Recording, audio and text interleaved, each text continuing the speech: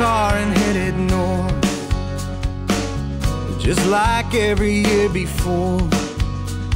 The same old caravan, they don't understand I'm not a child anymore. Cause all my friends have headed south.